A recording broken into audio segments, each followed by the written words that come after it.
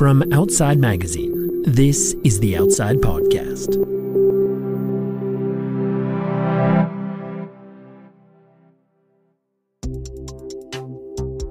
Around 20 years ago, I went on a date that was a total disaster. A woman who I'd just started seeing invited me to go windsurfing with her on the San Francisco Bay. I'd been windsurfing just once before, but I said yes because I really liked her and I figured it'll be okay. It's not that hard. Well, you know what's coming. That's especially true if you listen to this show regularly, because I shared a tiny bit of this tale a couple years ago. Anyway, several things stand out in my memory of this experience. There were my bloodied hands, which I'd rubbed raw, pulling the line that lifts the windsurfer sail when you're trying to get going again after falling into the water. That happened a lot. There was the look on the guy's face driving the rescue boat that picked me up after I ended up a mile downwind and couldn't get back to the dock. And there was my date, who zipped all over the bay and made it look so easy. But it all ended well. Because, you see, I got to tell this story at our wedding. I'm Michael Roberts, and yes, here at Outside, we talk a lot about how we learn the most when our adventures go sideways. For today's episode, we have a special twist on that theme, put together by producer Patty O'Connell. We're calling it My Best Worst Accident. And it begins with a story that you definitely haven't heard before from my boss about a mountain bike ride that he'll never forget. It's funny now that you mentioned the ride home, that does jog the memory of my wife suggesting that perhaps we go freeze some sperm just in case. This is not a typical adventure tale, but then nothing about John Dorn's mountain bike crash is commonplace. John is a hell of a talented athlete, specifically Ironman competitions and cycling. On a bike is where he feels his six foot six frame is most balletic because elsewhere, well, If you've ever been at the zoo and seen a brand new baby giraffe sort of awkwardly stumbling along in its first steps out of the womb, yeah, yeah, yeah, yeah. that's kind of what I'm like Okay. in all facets. Ne- never blessed with much in the way of coordination. John Dorn is a head muckety muck for outside, but all the way back in 1994, he'd just finished graduate school and had been married for only a few years. He and his wife didn't have two pennies to rub together, so they were living with his in laws in Old Greenwich, Connecticut. John spent a lot of time biking the Mianus River Gorge, a network of single track that split the horse country of Greenwich's ritzy mansions. For him, this was a chance to escape his moneyed surroundings and get grimy in his blousy t shirt and extra tight spandex shorts. It was the 90s, after all. One warm, sunny day, John was enjoying a solo ride on a trail he'd ridden many times. At this per- one particular bend in the trail, there was a unique feature. It looked like a shark fin, like literally the kind of fin you would see on a 13 foot great white. Like it's not a small rock. Yeah. And it came right after a difficult sort of rock garden section that sort of took all my skills to to get through. And so I cleaned that tough section. I relaxed for a couple of moments. I come to the shark fin. Uh-huh. The dozen times that I'd ridden this trail before, I'd always gone left. Yeah. For some reason, in this particular instance, I thought, oh man, I am such a good rider. It would be groovy to go right. I don't do it fast enough. Mm-hmm. My 220 pounds of mass on a 25 or 30 pound mountain bike hits the shark fin, and the bike doesn't move, but I do. As I ejected over the handlebars, into a full Superman, the craziest thought came into my head. And I'm like, fuck, I'm flying. This is what it feels like to fly. The superhero elation was momentary. John wasn't flying, he was flipping through the air uncontrolled. He landed on his back on hard packed dirt and rocks. He knocked the wind out of himself, but that was about it. He briefly felt gratitude. And then In looking up at the heavens to thank whatever deity was protecting me, I saw my bike flipping over. I could see that the handlebars were coming down first, and they were spinning in such a fashion that I was going to get skewered by one end of the handlebars. Uh. And not only was I going to get skewered, but the destination of those handlebars was right around the crotch. Oh no. My God. Now, Patty, I was a young man still. I had not yet had children. My wife and I wanted to have children. Yeah, yeah. Her parents, who we were living with, talked to us every day about having children. My mom called me every week about children. Uh-huh. This 27 pound bike was coming down right at the good parts. We're not talking just about a painful injury. No. We're talking about like multi generational extinction. Yeah. The bike landed on John, but missed the mark. Feeling grateful once again, John stood up and dusted himself off. And that is when he noticed pain in his upper thigh where the bike had hit. A bump started to swell up in less than a minute. By the time it got to be the size of a tangerine, I'm like, huh, that's that's happening pretty quickly. Like this is unusual. But the thing that really kind of freaked me out was that it was pulsing. Like I could feel the blood actually pumping. So John did what anyone would do in that situation. He pulled his spandex shorts down to inspect his wounds. The bump was throbbing and continuing to grow. I'm standing there with my shorts down around my ankles. And as I'm rubbing my crotch, trying to figure out what to do, I look up, and for the first time ever in the Mianus River Gorge, I see a hiker. Not just any old hiker, it is uh, a 60 ish uh, woman dressed to the nines as if she was walking down Greenwich Avenue shopping in the high class stores. Chanel purse, Stop it. poodle. No way. No. You got to The be whole kidding. nine yards. Seriously? The whole nine yards. Yep. She was not dressed for hiking. She was prim and proper, and she was probably worth a $100 million by the looks of things. And here she comes along the trail around the bend to discover this six foot six giant rubbing his crotch with his spandex around his ankles. I was completely struck dumb. I, I simply stared at her and kept rubbing. The hiker made eye contact with John, then looked past him and continued walking. She pretended as if nothing happened and walked right on by me. The poodle didn't even say anything. But the adventure continues. John still had to get home. He finished the loop, got back to his wife, and Pulled down my shorts and showed my wife, and she's like, Oh my God, we're going right to the hospital. the doc at the hospital told John he was lucky for two reasons. The first, All that bike coming down right there, you could have just split those things in half. oh my God. But I'll tell you, you're really lucky uh, because what you see here is the result of nicking your femoral artery. That pulsing was blood leaking out of the femoral artery and filling the hematoma. The doctor informed John that if the bars hit at a slightly different angle or with slightly more force, he would have bled out on the trail and died within three minutes. The next weekend, John went back to the gorge and rode that same section of trail 10 times, always going right around the shark fin.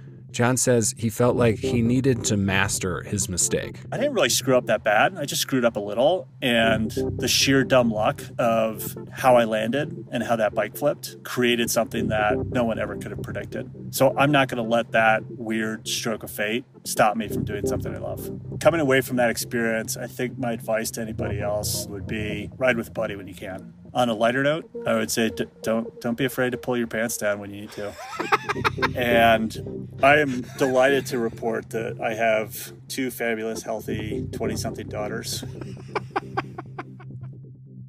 all's well that ends well, right?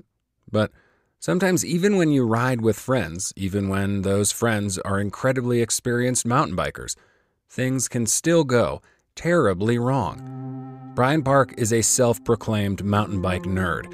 He helps run Pink Bike, the end all be all mountain bike website, and part of the Outside Network. Brian is also one of the voices you'll hear on the Pink Bike podcast. He lives in one of the epicenters of mountain biking, Vancouver, British Columbia. As a Canadian, I'm a little upset to find you not like drinking syrup out of a straw. I'm hiding it. It's impolite. Brian is the quintessential, well mannered, even keeled Canuck, which came in handy during an especially brutal crash. In 2019, Brian attended the Whistler Crankworx Mountain Bike Festival, about 90 minutes north of Vancouver. Each year, Pink Bike employees take friends and family on an adventure during the festival, a wild ride in the coastal mountains that requires a helicopter drop. There are two routes down an aggressive trail and a mellower trail. Brian usually chooses aggro, but this time he felt like taking it easier. When he was cruising at half speed on the mellower trail, a very not mellow thing occurred on a section running through a talus field. I just wasn't paying attention, miscalculated, snagged a pedal, and out the front door of the bike, just off the front, and in the worst possible place. So you just went full over the handlebars. Tomahawked. Yeah, just tumbling down the talus field for a while. What's a while mean? Uh, 30 ish feet off trail. I put my hands out to sort of stop myself, and my right hand just was not where my brain thought it was or where it should be in space. I look and it's just pointing backwards in the wrong direction. I just yanked my arm around and I was like, Oh. in my mind, I was like, the universe didn't see it. I did it so fast. Like, it's, I, I'm so embarrassed, but like, Yeah. nobody's even gonna know. Yeah. I'm gonna ride out of here. It'll be fine. You don't want to be fine, the it's guy fine, that, it's fine, it's yeah, fine, it's fine. You don't want to be the guy that crashes out on the ride, you know? and when I tried to do things like a muscle would fire and it would not do, like it was just spaghetti. It was gross. My God. And so I, I I remember yelling up, I super broke my arm. like not just I broke my arm, I super broke my arm. While this sounds agonizing, at this point, Brian was feeling more emotional distress and embarrassment than physical pain. But then his colleague Sarah came running up to him with a very concerned look on her face and said, Brian, it's gonna be okay. We're gonna get you off this mountain. Your arm is gonna be fine. And I was like, oh god, I hadn't considered any other alternative. and then when she was like, You're going to be fine, you're going to be fine. Then I stopped believing that I was gonna be fine immediately.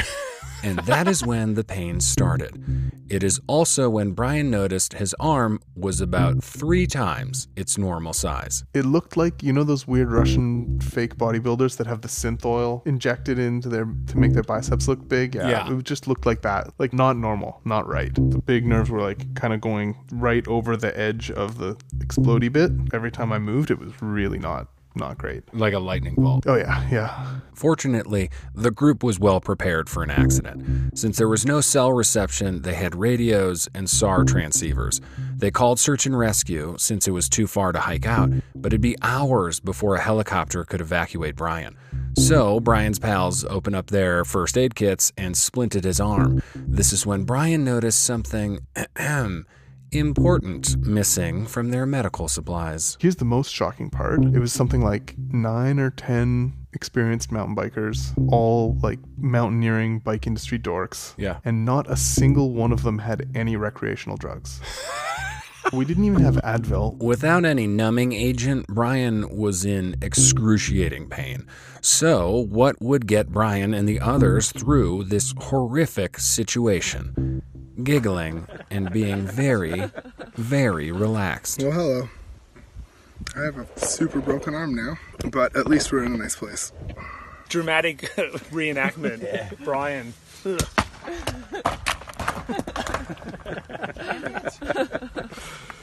I think everybody was pretty chill and funny pretty quick. It was a good vibe, good crew. I don't think I've ever heard a single person describe an accident and say, Yeah, you know, like it was pretty chill vibes. I would say definitely if you're going to have a terrible accident, the the people that you're having a horrible time with are important. The staying calm thing just seemed like the right thing to do. I'm sure I wouldn't be calm in a different situation. You're almost shockingly mellow in the retelling of this, even for Even for a Canadian. I definitely am somebody who is practical in what I let my emotions do or myself do. And if it's not helpful to me, I turn that part off. My reaction at the accident and since is always just like, is this useful right now? And if it's not useful, I'm not going to focus on it. And I think everybody can do that on some level. In addition to being a super laid back Canadian who has access to socialized medicine, Brian's ability to take the air out of a chaotic experience made this crash unremarkable in the grand scheme of his life. It was fine. It was all fine. I still ride bikes. My hand works. My brain works. It was awful, Yeah. but it was fine. Like hard, terrible shit can happen, but I can be okay in all of it. Yeah, exactly. I would definitely recommend not doing it again, though. But what about those mishaps that do serve as a flag in the ground moment? Those events that change everything. I said, Is there anybody else in this accident? And he goes, Nobody that's hurt. You're the only one that's going to be hurt. So just keep talking to me. That story coming up next.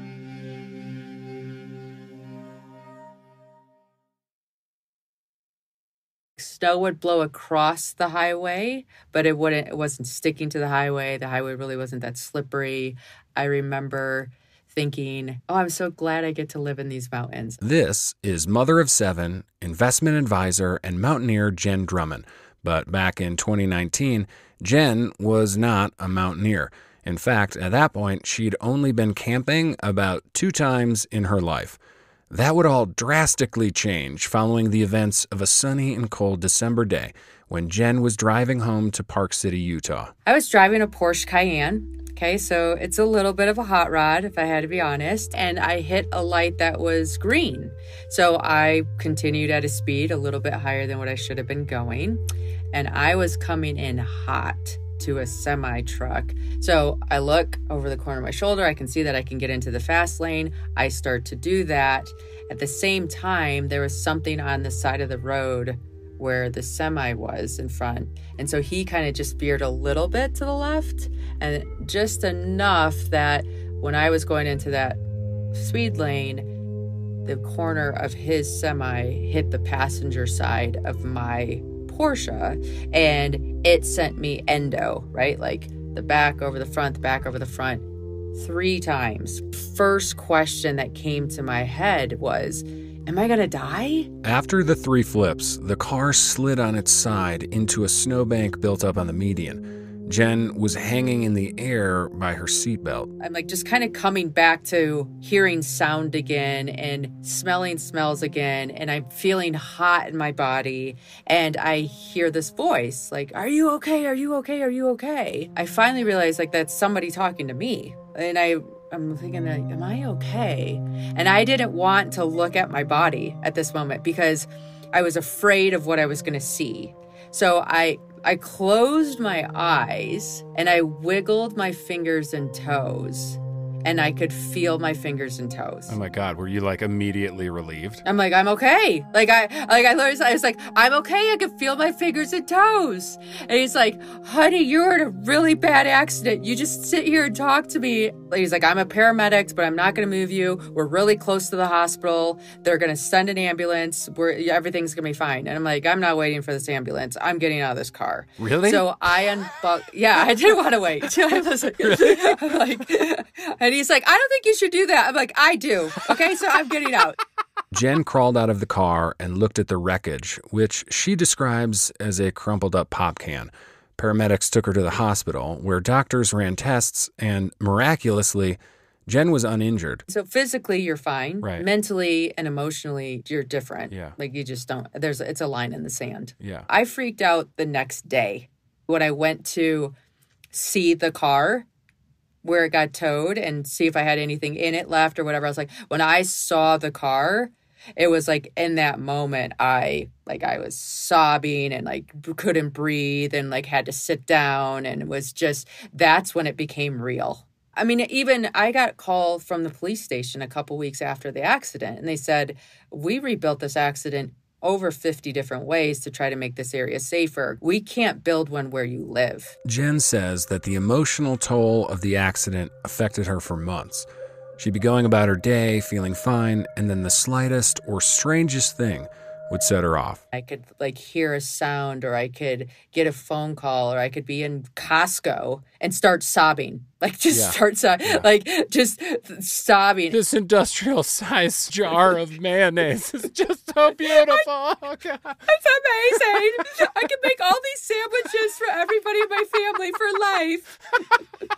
so good. All jokes aside, Jen says she spent a year asking herself some tough questions. How am I here?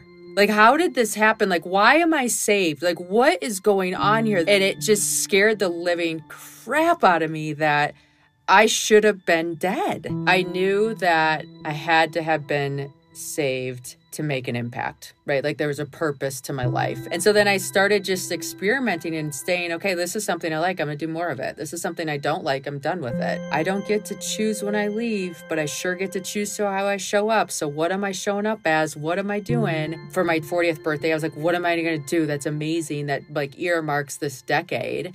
And I decided that I was going to climb a mountain. I called out to friends and said, okay, if there's one mountain you could climb in the whole wide world, what would it be? And the overall arching theme was this mountain called Ama Dablam, located in Nepal. And so I signed up to do that and started training for that and like leaning into that as my North Star. Soon after deciding to take up mountaineering, Jen, ever the optimist and a de facto at home teacher because of COVID, was helping one of her sons who was struggling with a math assignment. I'm like, we do hard things. Like, we got this. And he looks up at me and he goes, If we do hard things, why are you climbing a mountain called I'm a Dumb Blonde instead of a real mountain like Mount Everest? I'm like, I'm a Blom, not I'm a dumb blonde. Okay? And I'm like, you know, maybe I should do Everest because that would show their my kids that whatever their Everest is, they can do. Jen hired a coach to train her for Everest. As part of her training, the coach had Jen read an article in the Guinness Book of World Records about a female mountaineer's suffer filled adventure in the Alps. I'm like half joking with this coach if anybody can suffer, it's me. I've had seven children, let's be honest. and my kids learned how to read on Guinness World Records. Okay. And I'm not growing a pumpkin or eating pizzas or pot dogs or whatever the thing is. But if I could get a Guinness World Record, my kids would think I'm kind of cool. Jen set her sights on becoming the first female to climb the seven second summits, the second highest point on each continent. Hasn't been done by a woman before. It's harder than the first seven. And it just makes a statement about being a mom and doing what ignites your like soul on fire. And so many times as a mom we're so used to putting ourselves on hold for everybody else. I'm like oh you know let's look into this. Jen did more than look into it since her car wreck, Jen has climbed Everest and a bunch of other mountains, including six of the seven second summits. All this and more happened because of her car accident. The doors that it's opened, or the impact it's been able to have, or the things that it's put into motion is bigger than anything I could have done before. And I am living my happiest, fullest, greatest craziest life. Here's the thing like, I have seven kids watching me. If I'm working hard and doing all these things every day and I'm not fully happy, then why are they going to want to go to school and work or why are they going to want to do things like it because it doesn't like the message i'm giving isn't congruent with the life i'm living give yourself the space and permission to listen to what makes you happy and then figure out how to put action behind that.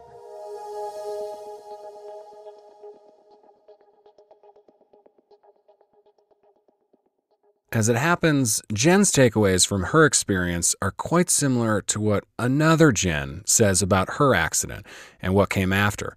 I'm talking about retired professional skier Jen Hudak, a two time world champion, five time X Games medalist, four time national champion, and an ESPY nominee. Oh, and she was also integral in getting freestyle skiing into the Olympics. In the run up to the 2014 Games in Sochi, Jen had battled back from a ton of injuries, including a two year rehab of her right knee. Competing in halfpipe in Sochi was going to be the tidy and beautiful bow tied around a storied career. There was a lot of pressure. I think I recognized that I was nearing the end of my career, but I needed to seize this moment and I had to have all of my performance come together in a very specific way in order to make that dream come true. And it wasn't just a, a dream of making the Olympic team. You were going to Sochi to to to win. The dream was never just to be an attendee. It was not to be a participant. It was to win a gold medal. But first, she had to earn a spot on Team USA. At a qualifying event at Breckenridge in December 2013, Jen completed a conservative first run. She landed all her tricks clean, but needed to up the ante to secure a podium finish, making it one step closer to being named an Olympian. Jen knew she needed the big points of a 900, an off axis two and a half rotation aerial, the same trick that led her to knock herself out and dislocate her shoulder a few years earlier when she tried it at Winter X Games in France. I'm like, okay, like I can battle through this. I can push through. I know my body is hurting, but I'm going to do this 900. I'm going to make finals. I'm going to be one step closer to qualifying for the Olympic team. And I dropped in and I did my 900. I brought it around to my feet and I just landed a little bit backseat. Um, so I felt a little weirdness in my left knee. I crashed, obviously, and then I, I stood up and I managed to kind of ski down to the bottom. People came over and they're like, Are you okay? Are you going to do another run? What's going on? And I just sat there. I remember thinking, like, this is it. Like, my career's done. The Olympic run is done. And that's that. I got to figure out what's next. Jen tore the ACL in her left knee.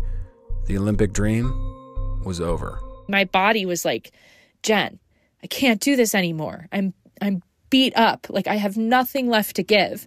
But my mind and my ego and my pride and this part of me that that knows like what I was physically capable of had I not had all of those injuries throughout my career was like, you can't quit now. We're so close. We finally have the opportunity. Like, this is everything that you've worked for for your entire career. And in that moment, I remember feeling relief.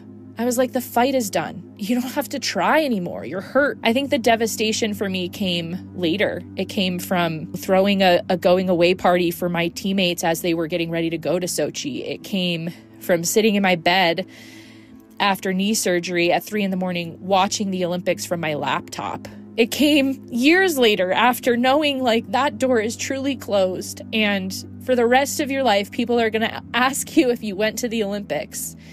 And despite having numerous world championship medals and having won every other event that was out there, you don't get to say yes. And that's hard. In the moment, it really was just like relief. Like, okay, you can breathe and for at least this short period of time, you don't need to you don't need to fight.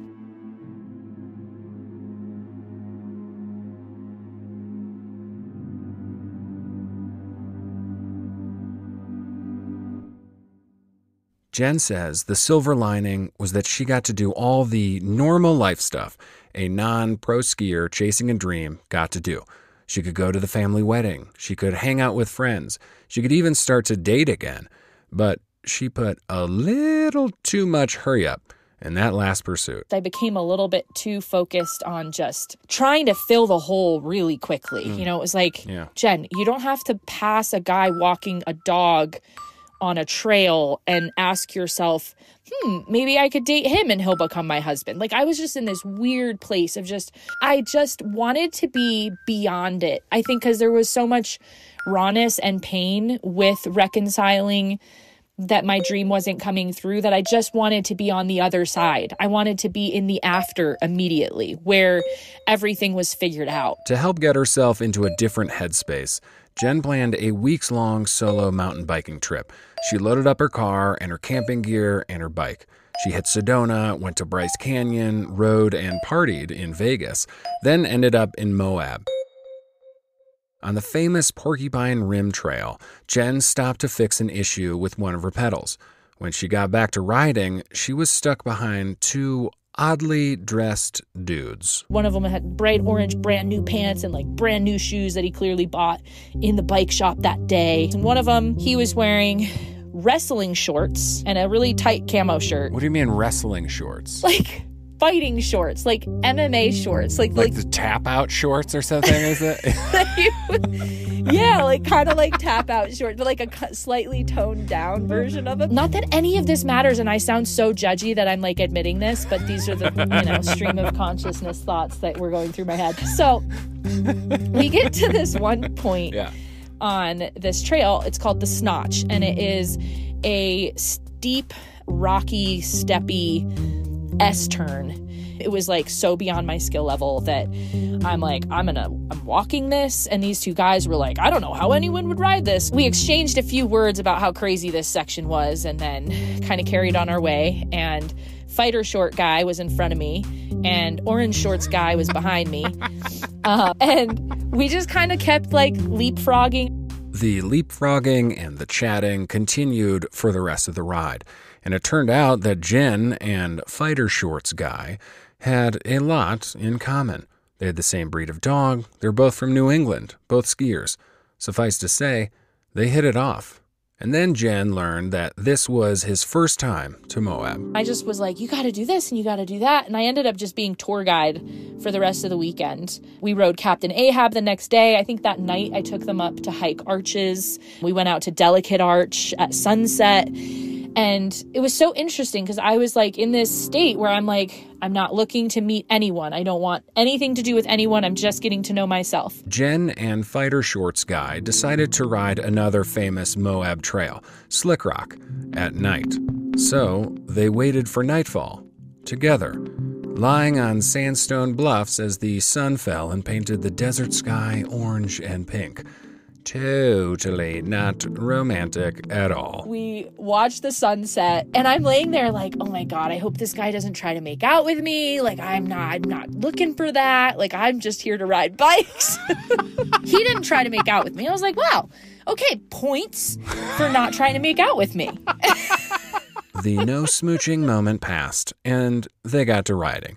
And at a very steep section, Jen fell felt her freshly repaired left knee buckle, and began to swear in fear and frustration. Fighter Shorts Guy was unfazed. He just like picks the bike up and walks to the top of, my, of the hill. And I was like, oh my God, he didn't try to baby me. He just took my bike, did a helpful thing, let me figure my shit out. And I like stand up and eventually get myself together and I walk up, I get the bike and we keep riding. So he's got like even more bonus points now. It was midnight by the time the ride was over and Jen was too tired to set up camp. So, Fighter Shorts guy, whose actual name was Chris, invited her to crash in his hotel room with Orange Shorts guy. So we go back to the room and I'm like laying on the foot of the bed and I'm like, "Can I just sleep on the foot of your bed like a dog?" And Chris is like, You can share my bed. Just don't touch me. Okay. All right, Chris. Sounds good. Okay. I'll share your bed, but I won't touch you. Even more bonus points. but that is what led up to the first moment that we kissed. We did eventually kiss. We only kissed. In the bed after he was like, Don't touch me, you were like, Well, I'm definitely going to touch you now. Exactly. What? No, he started it. I actually, I don't know who fully started it. Our feet touched. I don't know who made the feet touch. oh. A little toe on toe action. What about Orange Shorts guy? Is he in the bed next to you guys? Yeah. Oh my god. this is this is the best. This is this is the best. The next morning, Jen headed home to Utah, and Chris drove home to California. But they kept talking.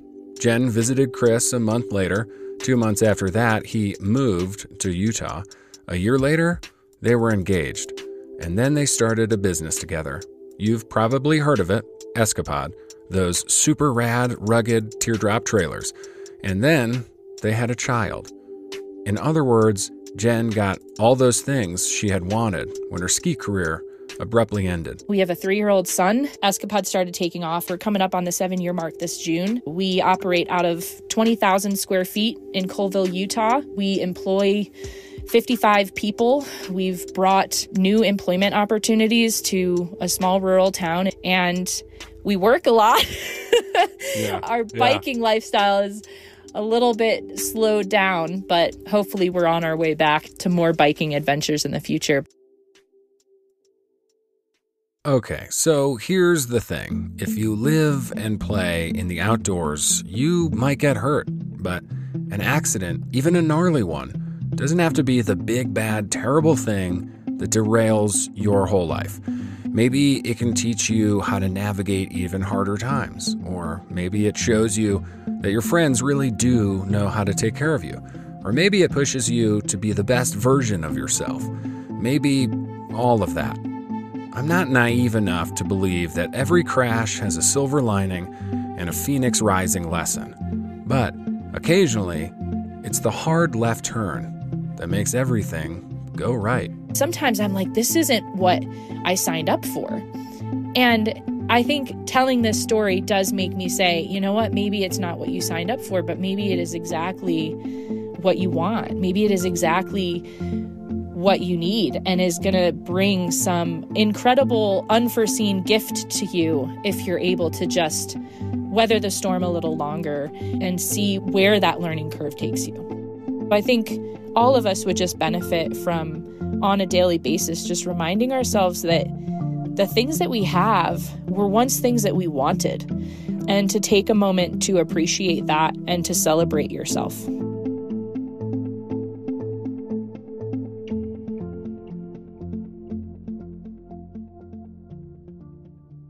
This episode was produced by Paddy O'Connell, whose most recent accident occurred when he was styling his mustache.